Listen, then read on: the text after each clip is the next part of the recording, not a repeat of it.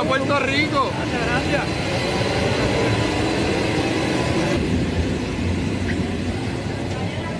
Brother, desde el 2018 no pisas Puerto Rico con el propósito de un concierto, ¿verdad?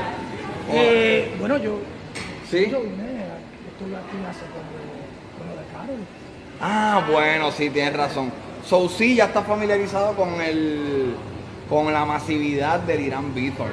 Sí. Pero, o sea, yo pienso que, ok, hacer un Irán Beathorn durísimo. Tienes dos.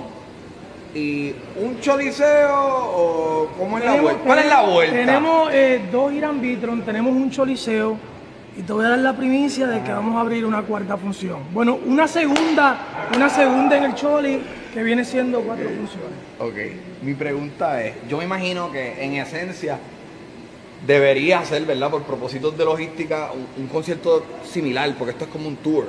Pero que hay diferente a la hora de, de tú hacer arenas cerrados y estadios abiertos. ¿Hay una diferencia en términos de cómo tú te sientes como artista en escena? Yo sinceramente me siento más cómodo haciendo lugares más íntimos. O sea, siento como que cuando yo hice con, con el grupo Aventura en el 2016 los United Palace, Ajá. sentía como, no sé, como el público más cerca y a mí personalmente me gustan más los eventos más como... Íntimos. Sí, sí, sí. Ok. totalmente. Sé que está en un corre y corre, eh, estamos grabando esto hoy, ya Para los mañana. estadios, perdón que te interrumpa, para Ajá. los estadios, o sea, los chavos salen mejor en los... Ah, definitivamente. Eh, sé que estás en un corre y corre. Ya mañana es tu primera función. Agradece en nombre de todo Puerto Rico que la pasemos cabrón allí.